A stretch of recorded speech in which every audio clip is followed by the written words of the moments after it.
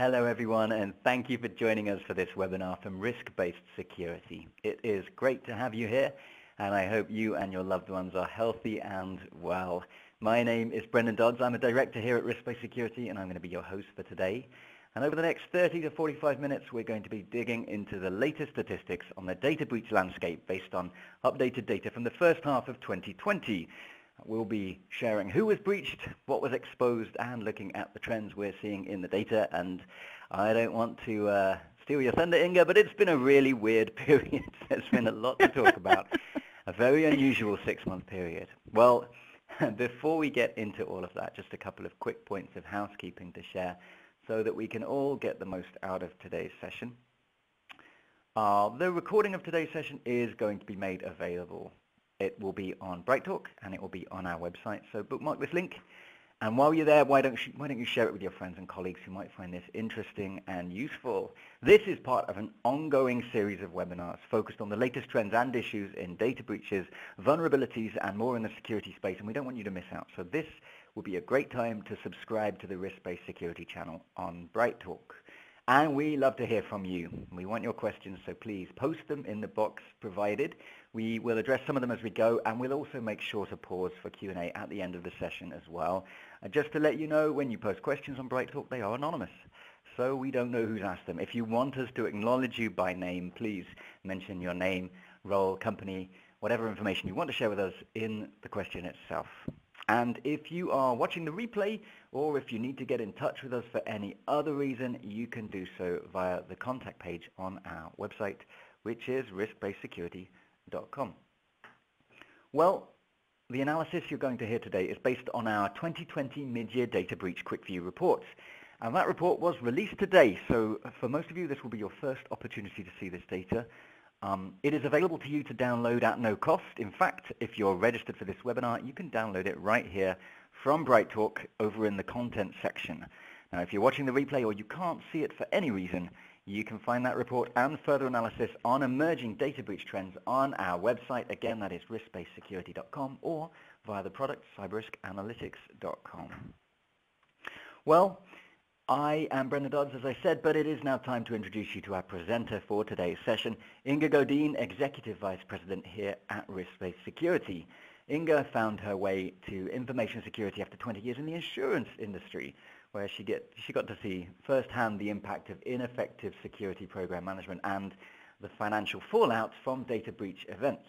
And here at Risk-Based Security, she's responsible for our cyber risk analytics and your CISO products and it is my pleasure to hand you today over to Inga, who's going to take us through the agenda. All right. Thank you so much, Brendan, for that introduction. And thank you to everyone for tuning in for this session. It's a real pleasure to have you with us. Um, as Brendan said, my name is Inga Goddijn, and we will be talking about all of that wackiness of the first six months of this year um, with regard to breach activity uh, just one quick note to keep in mind as we go through um, and compare numbers to prior years. We are comparing to the same time period for those prior years. So we'll be doing uh, six months to six months. Um, just to highlight all that craziness. Um, because it has been such an unusual period of ups and downs, I did want to do something a little bit different for our time together today.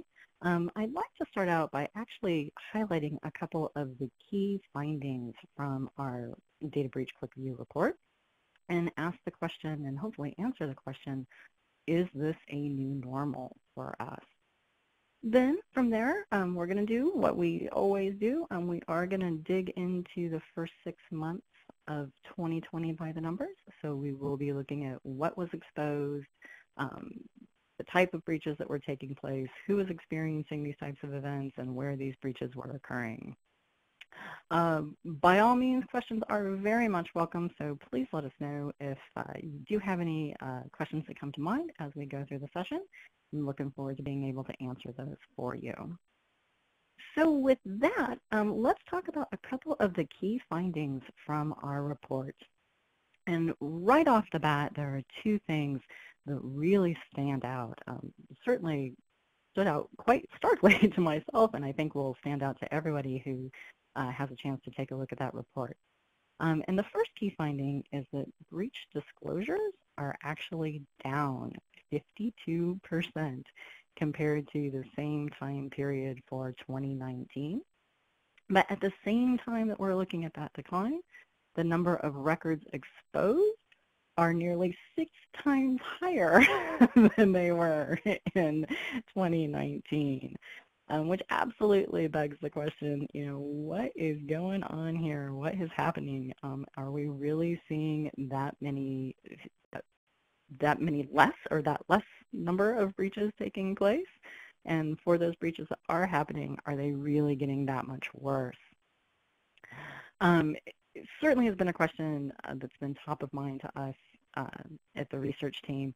And I'm going to go on the record right at the outset as saying, um, no, I actually don't think that breach activity has declined nearly as starkly as a 52% decline might indicate.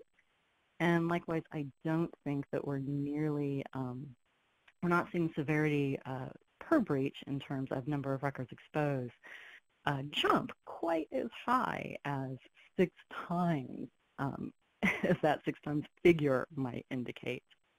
Um, and there's a couple of reasons why, and, and, I wanted to highlight those as we as we get started here. Um, it, for folks that have uh, been following our breach research, uh, you know that the first part of 2019, there were some uh, large collections of data leaks that came out, and our research team picked those up and aggregated those which really did influence the number of breach reports that were coming out for the first six months of last year. Now that's not actually uh, all that unusual. We have always had uh, spikes in time where uh, large collections or data sets come out um, into, into the public realm all at once. Um, typically we do see those sort of smooth out as time goes on. Um, so far we haven't seen that smoothing effect take place this year. Um, but there's another reason um, that I think, or another, um, yeah, another reason that's impacting uh, some of these results. And you know, I know COVID-19 is going to be blamed for a lot of stuff, but I do actually think all of the news and all of the attention being um, rightfully so uh, devoted to what's happening in the world today, and not just COVID, but all the other news that's been taking place over the first six months of this year it does seem to be affecting really our own personal supply chain of information about data breaches. And I'll talk about why I think that is in a little bit more detail.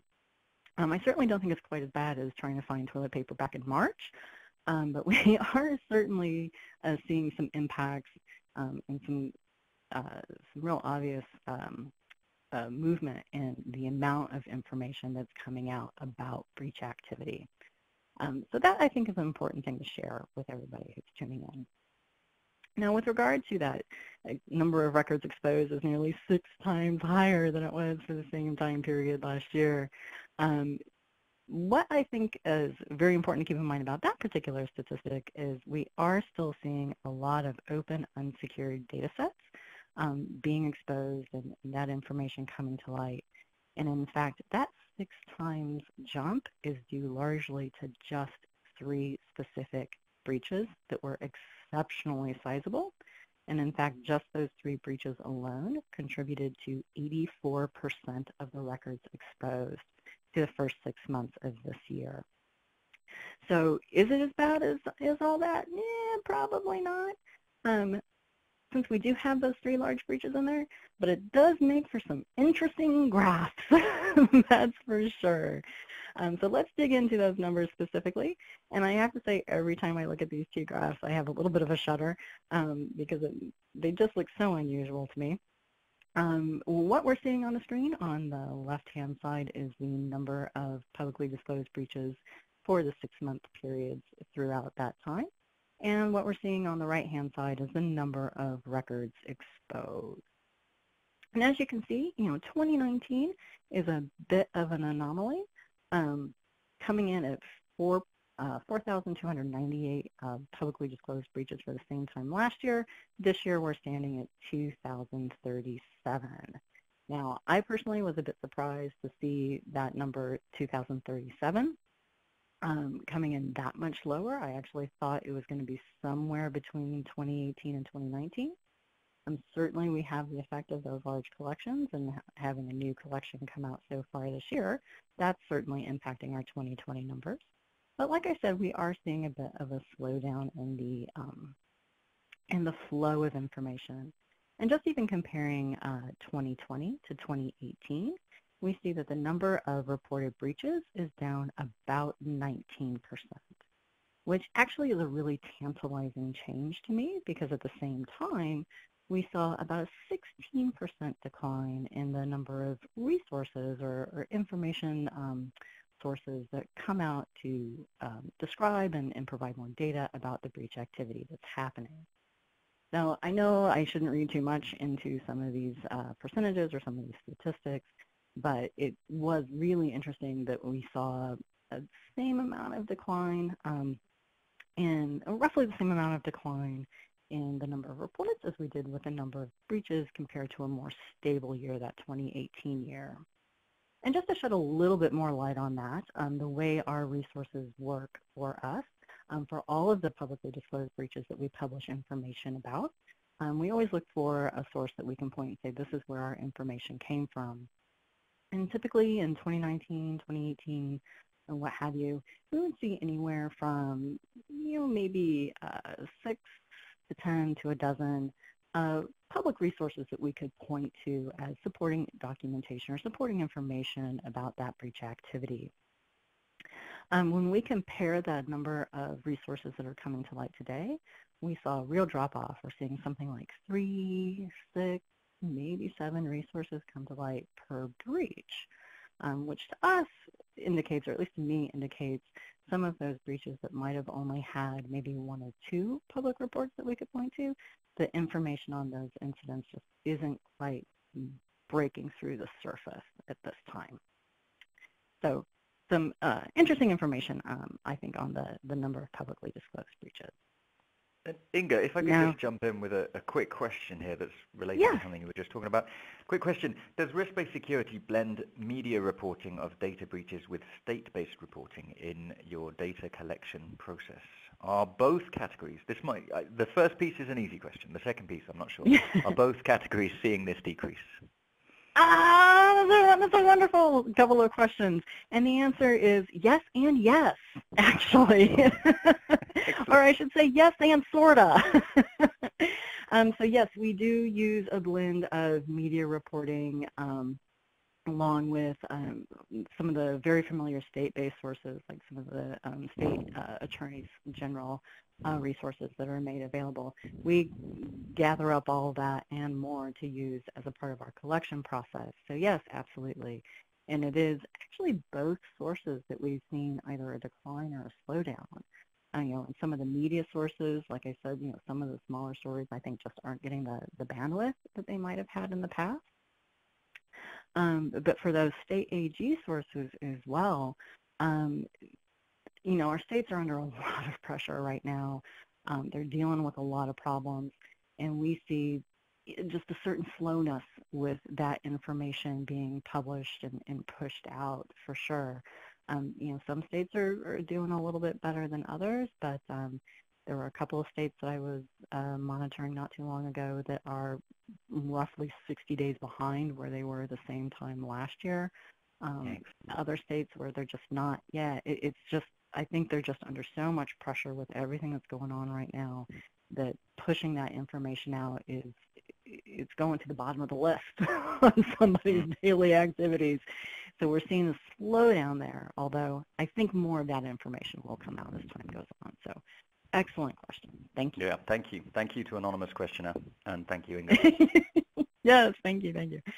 Um, so looking over to the right there with the number of records exposed, and we see a whopping 27.6 billion with a B records exposed in the first six months of this year, um, which is actually the most records exposed that we have ever seen for any time period that we've looked at. Again, these are driven by three very large, sizable, open, unsecured databases uh, that came to light uh, in the first six months of this year. And it is unusual to see the, the size of the ones that we saw was unusual both in, in terms of the number of records exposed and then to have three of them all at once. uh, was a little bit out of left field. Um, but that said, misconfigured databases and misconfigured services are far from being a new problem. In fact, um, they've been of interest to black hats and white hats alike as um, the ability to search for these things has become a bit easier uh, you know, through mechanisms like Shodan, where you can look for internet-connected uh, services and, and, devices and that sort of thing. Um, so we are seeing uh, those sizable data leaks continue to contribute to the overall number of records lost. But we'll talk, uh, we'll dig into those numbers in a little more detail in just a minute. Uh, but from there, for the sake of time, let's move on and look at how are all of these events happening. So we, uh, for all of our uh, data breach events, we look at a primary breach type. So you know, what is that um, proximate cause for what caused the data loss event? And we have coming in at the top spot, not a big surprise, um, hacking or unauthorized access into services or systems certainly once again takes the top. Um, the top category is the most popular breach type um, with 1,334 of the events so far uh, this year being attributed to that, that type of um, unauthorized access activity. Uh, followed a close second and third by malware, which gets coded as virus in, in the graph, and uh, web exposure, which is those um, those open uh, unsecured databases or anytime information is made available online. Um, and I do think that actually that brings up kind of an interesting question or a coding question for us, um, and that is you know, why would we choose something like hack over virus when so often incidents involve an element of both, right? You know, malicious actors get into the system, they launch some sort of malware in there, some sort of virus in there that contributes to the, the overall event. So what goes into one bucket and what goes into the other? And again, um, we, we borrow from our friends in the legal world and we look at that closest proximate cause of the data loss to be our primary breach type here. Or, you know, if we think about that in other words, it's, it's the action that ultimately resulted in the data compromise. So when you have, you know, attackers getting into the system, you know, they root around, explore, see what they can find of interest. Maybe they divert some emails or they, they download the data, whether they do it manually or they actually use um, some sort of malware to download the data. That to us gets coded as hacking. And we can contrast that with virus or malware as being the type of situation where it's not exactly clear that attackers had that access and were able to leverage it in order to steal the data. Whether rather it's the malware itself that was implanted perhaps automatically and automatically um, had a component to it that automatically was responsible for, for compromising the information. And it has been a really interesting evolution to watch this, especially with regards to the new type, well, not new types, but the the more audacious uh, ransomware events that we're seeing these days, especially out of groups like, you know, Maze Group or the Doppelpaymer and Nefilim, what have you. Um, where the groups that use that type of malware generally um, get into the system, stay in the system for a little while, exfiltrate data, and then launch the ransomware attack. And those types of attacks for us are coded as hacking as opposed to um, malware, where ransomware would be a secondary uh, indicator on that breach. Uh, we do have another question here from someone watching, which is uh, how do you code a phishing attack on this? I think that's probably quite similar to what you've just said. Yeah, absolutely, and that's a great question. So um, for us, again, it gets to that closest proximate cause and phishing can be used as either a means to an end or directly to the end itself. So for those attacks that actually begin with a phishing attack, um, and they use that in order to be able to um, maybe trick a user into giving up their credentials or launching the malware that's going to get the credentials that's going to get them into the system, what have you, um, that is generally a supplementary breach type in this in this system or in our coding system. Um, so that would not be a primary breach type. When it would be a primary breach type is when we saw things like phishing for W-2 forms, where somebody poses perhaps as, um, you know, somebody outside the organization poses as um, as maybe the CEO and, by, and, doesn't necessarily have access into the, the email system and says, hey, email me all of your W-2 forms for last year. And the, um, the target actually responds by emailing the data. So it was a direct response to the phishing attack that exposed the data. And that's when that would be coded as phishing as a primary breach type. So fantastic question. Fantastic question. Um,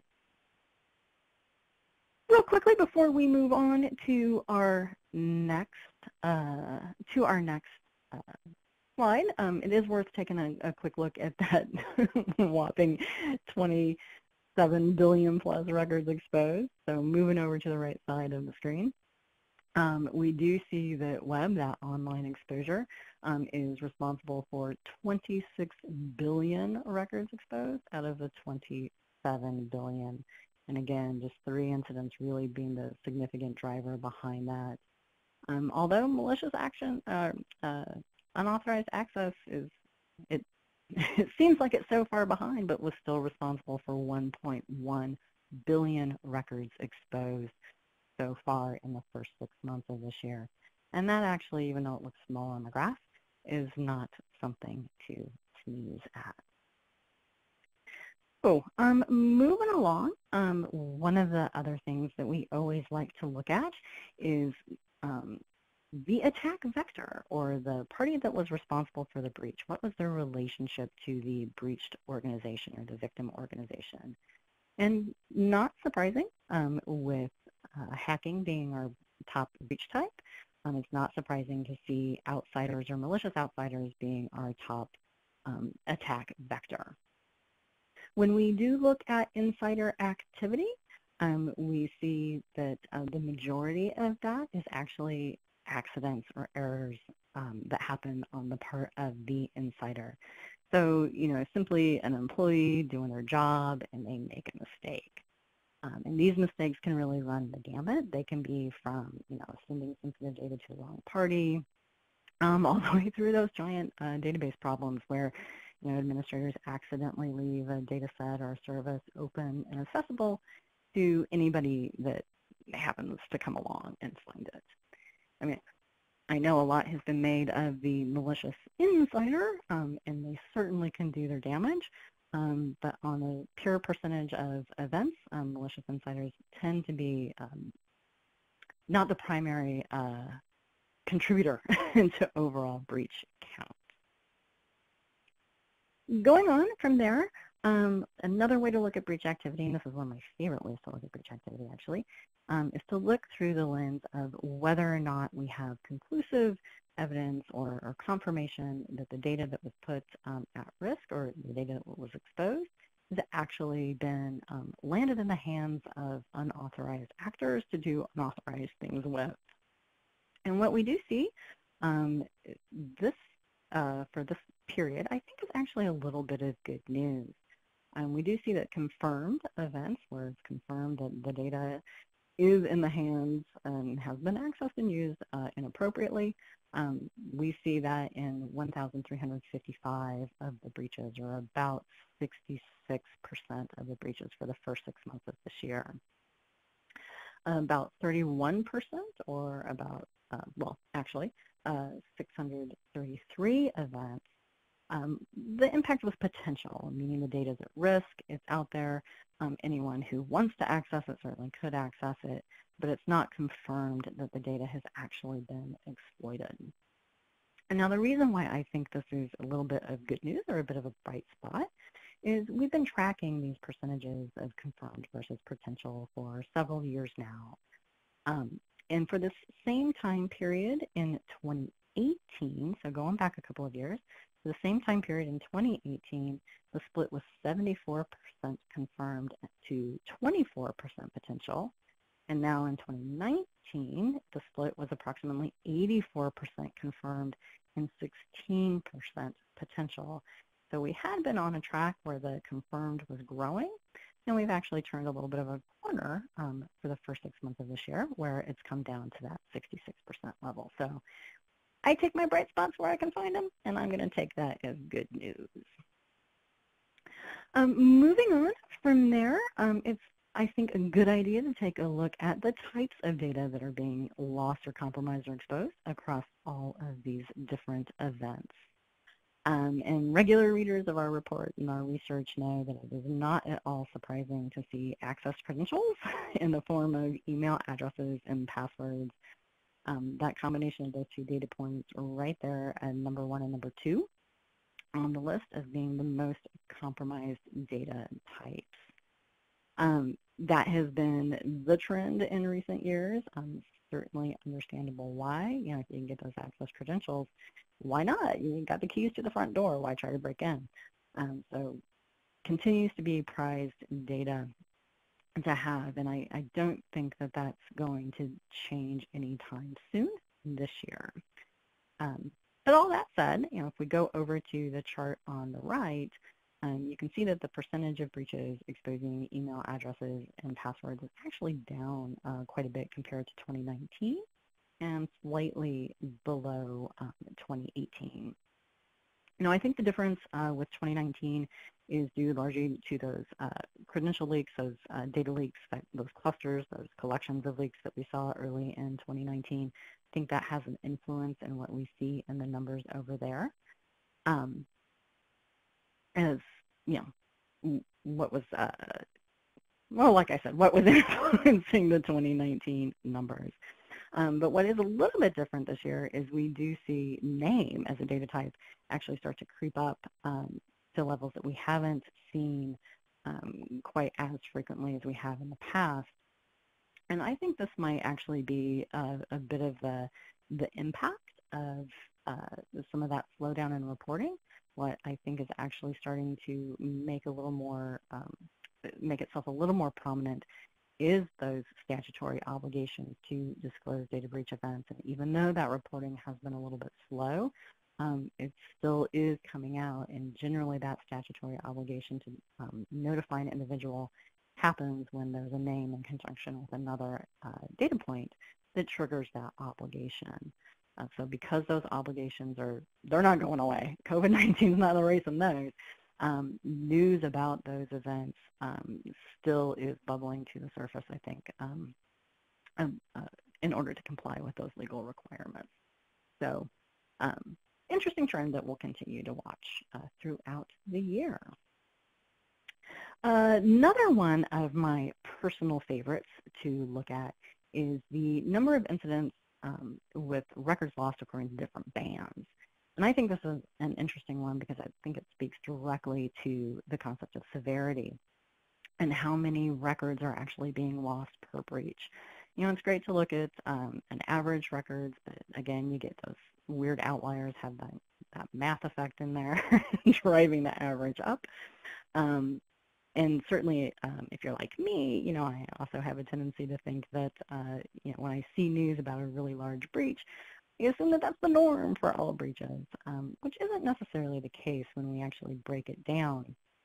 And when we do look at breach activity um, spread out by the different layers of records exposed, you know, we do still see that the majority of breaches are those with a confirmed record count, that is. So, you know, if we take out those 391 that are unknown, um, when we look at where the, you know, the distribution of breach events where the record count is confirmed, you know, we're still seeing that most breaches expose 10,000 or less records. And in fact, um, that represents about 74% of the reported breaches with confirmed counts. So a little bit, I think, of a, a, little more of a bright spot um, that we see uh, here. And I'm, again, sticking to my bright spots where I can find them. but uh, that said, um, we are actually starting to see severity inch a bit higher when we look at it through the lens of um, our severity score.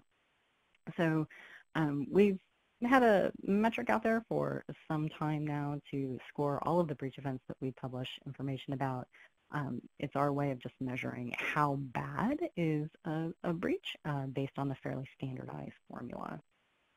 And here we actually split out Q1 of this year compared to Q2 of this year. And in the first three months of the year, we saw an average severity score come in at 4.7, um, whereas in Q2, we saw the average severity score come in at 5.4. So even though there are some weird outliers out there that you know will move averages up and down and, and push you know number of records exposed to astronomical heights, um, there are still indications that severity is ticking up a little bit. I, I actually have a question for this one, Inga, if you'll uh, bear yeah. with me for a moment. Oh, I'm interested in, um, I mean, are we basing this on CVSS, or it, what's the what's the model for oh. these severity scores here? Yes, well, not CVSS, but our own our own special proprietary scoring system, actually. Um, but that is a great question. Um, it is a logarithmic scale, so it's like the it's like an earthquake or a Richter scale, um, where we look at um, the number of records lost, or we can extrapolate uh, a certain number of records lost, and then we um, add into that formula or make a part of that formula um, various data points that get scored, like um, how did the breach occur, um, were there impacted third parties, like their customers' data was impacted, was there a follow-on lawsuit, what types of data were, were compromised, was it something that's changeable like a, um, well, like a username and password, or is it a fixed data point, like somebody's date of birth that can't be changed? Um, so we assign values to all these different data points and pull that into our formula as well. So breach scoring can actually change. Uh, any individual breach score can actually change over time depending on some follow-on events that might happen or you know as more information comes out. So it's just been a nice it's been a nice way to measure um, you know what's going on out there. So yeah, very cool. Great question. Yeah, absolutely, absolutely. So um, moving on from there, um, let's take a closer look at who is actually experiencing all this breach activity. And now for uh, this particular chart, um, we actually slice and dice organizations um, in a number of different ways, but for this particular chart, we're following the NAICS classification system, which breaks down businesses into various uh, economic sectors. And we're looking at breach activity as it is spread out across those economic sectors within that NAICS classification system. And as we can see, the information sector just barely edged out healthcare services uh, this year, or excuse me, for this time period. Um, but they're really tied pretty much for the top spot. Um, but one of the things that I do find interesting about these two different uh, groupings, when you put these two different economic sectors side by side, we see really different, uh, a different picture for the various subgroups that actually drive the breaches going into these sectors. For example, in the information sector, we see the vast majority of this activity being driven by just three individual groups in there, the software publishers, the hosting services, and and the websites. That's really what's driving um, all of that breach experience for the most part. It's not the telecoms. It's not the ISPs. You know, it's not the other traditional media companies that make up that sector. It's really just the tech-heavy pieces that make up that sector. But when we flip that around and we look at healthcare, we actually see that breaches are pretty evenly spread out throughout the healthcare industry, whether it be a physician practice group, um, a, um, a hospital, other type of allied healthcare provider, what have you, they're pretty much all experiencing breaches at the same rate. So moving on from there, uh, we of course like to look at where breaches are happening um, by location as well. Um, and spoiler alert, we have a, a new a new metric to share with everybody in the next slide. So stay tuned for just a little bit longer. But before we get there, um, let's look a little bit closer at breaches by location. Uh, so where are all these uh, breaches taking place? And the answer is pretty much everywhere. Um, for the first six months of this year, we observed about 50% of the disclosed events um, coming to light within the U.S with the balance being either unknown, meaning the breach lo location really couldn't be determined um, based on the information that we had available, or occurring outside of the U.S. I do think it's interesting over the past a couple of years, or comparing this uh, particular metric to the past couple of years, we have seen non-U.S. actually creep up in our data set. Um, but I do want to share with everybody, just in the interest of full disclosure, uh, that we do conduct the majority of our research in English, which I think does influence some of these systems, or some of this uh, this particular data to to a certain extent. Um, and I think because we have really ramped up what we're looking for, since we know that uh, resource reporting is a little bit low, we're looking under every single rock that we can find. You know, I think we are picking up a little bit more outside of the U.S. is a bit more of a driver of our research process right now. So just want to you know, be fair about that and be upfront about that.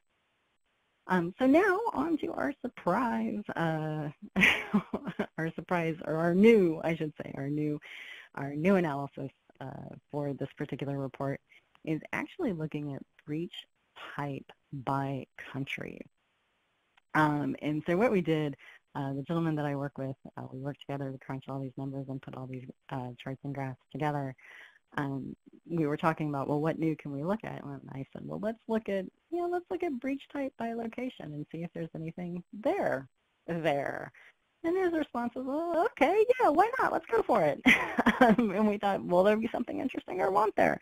And honestly, I thought the distribution was going to look kind of the same in every country that we looked at, but that was not the case. Um, we took the, the top 10 countries represented in the data set for the first six months of the year, and we, uh, again, uh, graphed out um, what were the, the breach types associated with the events uh, taking place in those particular countries. And we can see for the top five countries, um, US, Great Britain, Canada, India, and Australia, we really see that diversity of breach type taking place. Now, obviously, hacking is, is way up there because it's our number one breach type, and along with um, accidental exposure online through the web. Uh, we saw our fair share of viruses, but we really saw all of the breach types being represented um, across these locations. But then when we looked at our second uh, tier, the, the second, the next five in the top 10, Brazil, Russia, Denmark, France, and Italy, um, we really just saw hacking, web, and virus being, or malware, being the um, breach types represented in those data samples. Now, I have to admit, I'm a little bit at a loss to be perfectly blunt to um, say why. It is something that we are going to continue to dig into and look at um, as we go forward because I think this is a really um, a tantalizing first outcome that we have to look at. Um, you know, I have some theories. Um, you know, certainly, uh, you know, because of how we conduct our research, maybe that might be a part of the influence. Um, you know, I'm often thinking that culturally, um, what actually gets reported uh, may influence the outcome as well. You know, certain things where, um, you know, there's like a particular user error or um, uh, perhaps something that was a, just a mistake you know, maybe that just doesn't rise to the level of interest, or maybe culturally it's just not something that um, that would be highlighted or, or, or, promoted out as a as a as a breach. So we're going to continue to dig into that a little bit more as the year goes on, get you some more answers there. So as we uh, come towards the end of our turn today, um, just to highlight some of our, our um, what I see as being some of our key findings or some of the most important takeaways from today's session. Um, breach disclosures, they certainly are down, uh, obviously, compared to uh, 2019, but even compared to prior years as well. Um, is it a temporary disruption or is it the new norm? I'm coming down on the side of temporary disruption. I'm sure there's going to be some more data collections that are going to, or data leak collections that are going to come out. They always do and I'm sure at some point reporting is going to return um, a little more to the normal pace. Um, number of records exposed is up, even though it's largely attributable to those open data sets. Um, I do think that that's a trend that's here to stay. I don't think that's going away anytime soon. Um, so that one I think is going to be stuck with us for a little while. Severity is starting to edge up higher, even though it's the outliers that are driving the number of records exposed. Severity is looking like it's going the wrong direction right now. Another data point we'll continue to talk about uh, as we go forward. And just a reminder that our healthcare providers, they really are on the front lines in so many ways, um, not just with responding to the healthcare crisis that we have going on, but also being battered left and right uh, from, from our attackers. So um, props to our, our healthcare providers for fighting the fight on multiple fronts. So with that, I think we've had a few questions come in. Oh my goodness, Inga. They are flooding in thick and fast. so just let's get straight to it. On on that last um, on that last slide a moment ago, quick question. Is the percentage of breaches by country a representation of data by company headquarters or by citizen records?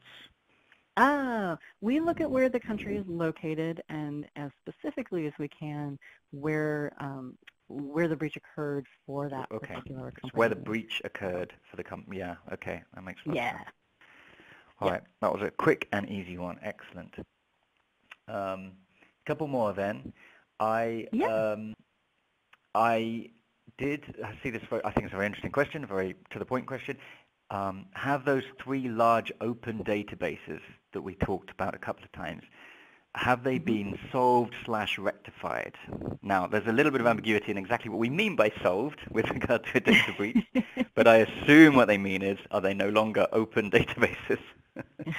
yes, correct. Well, that's my assumption too. And yes, yeah. um, my understanding is those three have been resolved. Um, you know, a part of the uh, reporting process for a lot of research firms, ourselves included, is we don't disclose that type of information until it has been resolved and, and taken down. So mm.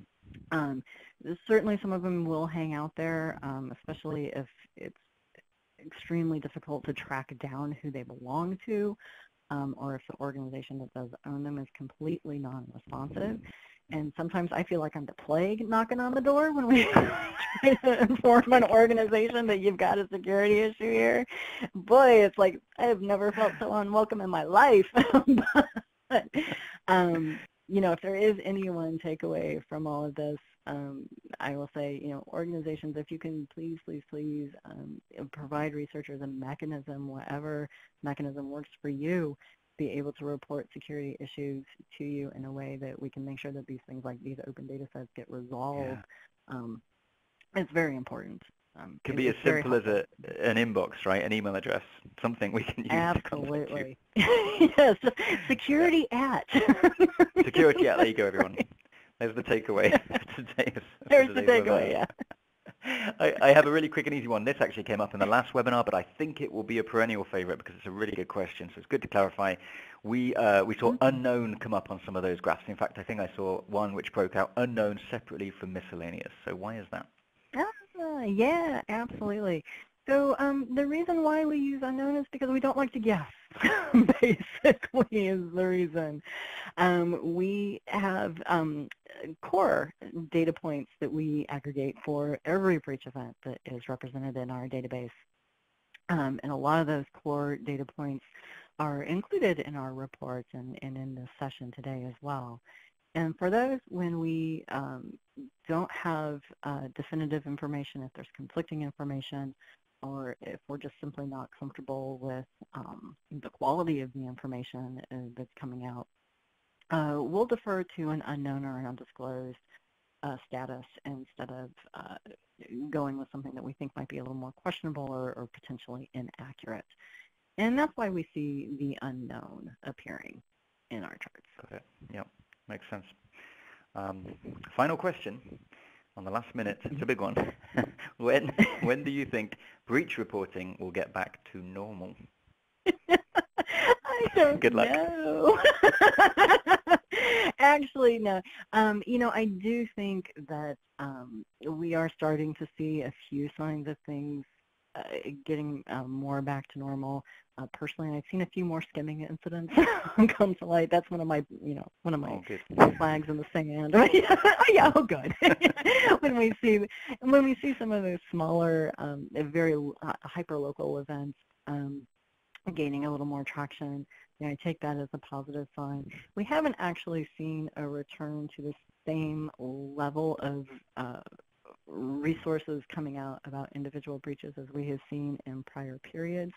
So, you know, I think we're going to be dealing with this effect for a little while, but um, I do think things are starting to return to normal. And even that one, that state source that I uh, spoke to a little bit earlier that was like 60 days behind, they've even gone through an update cycle in the last uh, couple of weeks. So, so I think information's making its way out. It's just a little, uh, it's just, it's just struggling a little bit, like so many of us are. Oh yeah, oh yeah. All that. Uh, any closing remarks? Because I think that takes us to the end of today's session. I am good, thank you. How about with you? Excellent. Well then, I, I will say this, hey, thank you everyone so much for joining us. It's been really good. I think it's been a really interesting session. Uh, we would love to show you around CyberRisk, CyberRisk Analytics or any of our other products, so please check out our website, riskbasedsecurity.com, and the product, which is cyberriskanalytics.com. Do get in touch. If you have an itch, we can help you scratch. But for now, we will see you again in a little over a week for our mid-year vulnerability quick view, so watch out for that one. Until then, thank you and goodbye. Thank you. Bye-bye.